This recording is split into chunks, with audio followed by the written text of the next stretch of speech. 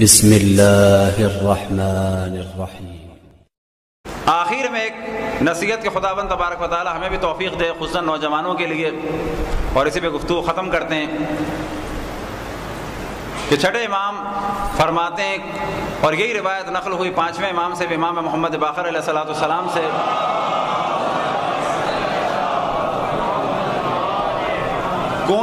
जैना वला तकून अलैना शैना। हमारे लिए इज़्ज़त का सबब बनो, हमारे लिए ज़िल्लत का सबब ना बनो। फिर एक तवील रिवायत में इमाम फरमाते हैं, अगर तुम ऐसा करोगे ऐसा करोगे ऐसा करोगे, यानी अगर बुरे काम करोगे इस तरह से, इस तरह से, इस तरह से तो लोग कहेंगे, हाजा जाफरी ये जाफ़र इब्न मोहम्मद का मानने वाला है।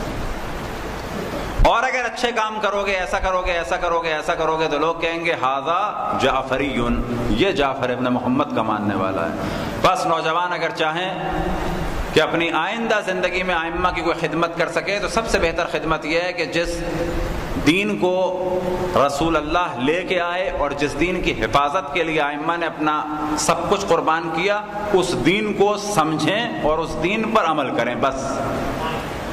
सिर्फ़ इतनी ही ज़िम्मेदारी। और हर जगह ऐसा इंप्रेशन डालने की पूरी पूरी कोशिश करें कि कहीं भी हमारे अमल की वजह से लोग ये ना कहें कि शिया चीटर होते हैं।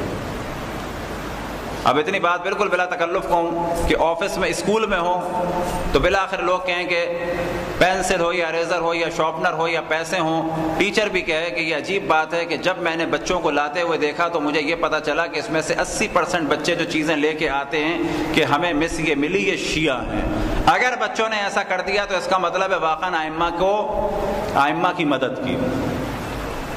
कॉलेज में, स्कूल में भी अगर फ़र्ज़ करें, बहुत साफ़ बात, यूनिवर्सिटी में लड़कियाँ कहती हैं, शिया लड़के छचोरे नहीं हैं। मुमकिन है कोई क्या बेशर्मी की बात है, ऐसा कोई बेशर्मी की बात नहीं है। फ़र्ज़ करें, तमाम लड़कियों का इंडिया पाकिस्तान में अजमा हो जाए, शिया लड़के गुंडे नहीं है, छचोरे नहीं है, पीछा नहीं करते, तंग नहीं करते। तो याद रखें, जो जो इस काम में शरीक हुआ, उसने आइम्मा की इज़्ज़त में इजाफा किया। यानी जो इमाम ने फरमाया, कौन लना जैना, हमारे लिए इज़्ज़त बनो। और अगर इसके बरक्स किया तो जुल्म किया। ऑफ़िस में अगर ये कॉन्सेप्ट बन गया लोगों का कि जिसके हाथ में फ़र्ज़ करें जी कड़ा हो या अंगूठियाँ हो, जिसके सामने तकवी और नकवी और आबदी और जाफरी लिखा हो, इसके पास जाओ, ये सही गाइड करेगा, धोखा नहीं देगा। तो याद रखें, ऐसे आदमी ने आइम्मा का एहतराम करवाया है।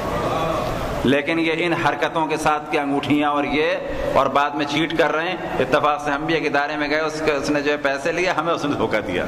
असल जुल्म ही है शेयर बेचने जा रहे हैं तो इंसान इतना मुतमिन हो जाए कि ये तकवी, नकवी आबदी जाफरी, सैयद हैदर अब्बास और अली अब्बास और हसन अब्बास और हुसैन अब्बास मुझे सही गाइड करेगा।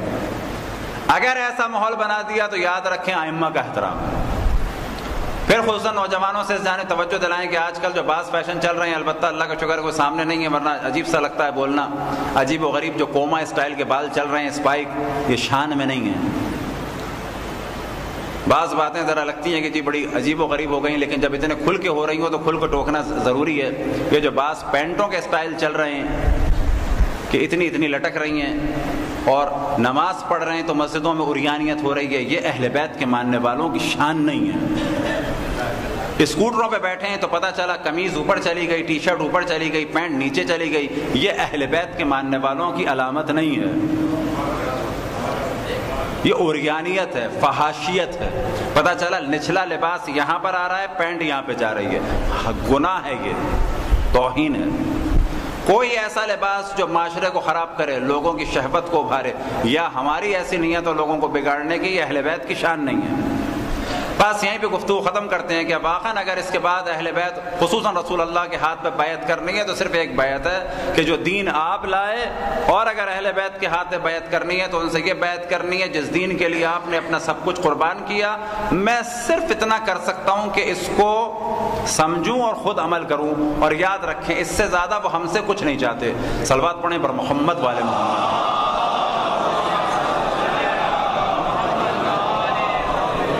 खुदावन तबारक ताली से दुआ कि फ़क़ मोहम्मद वाल मोहम्मद हमें कुरान और अहल बैतम कि यही वो दो चीज़ें हैं कि जो रसूल सल्लल्लाहु अलैहि वसल्लम ने अपने बात छोड़ी, इनसे वाबस्ता रहने, इनको समझने और इन पर अमल करने की तोफ़ी अता फरमा। इमाम के जहूर में ताजील फरमा, हम सबको उनके असहाब और अंसार में शामिल फरमा।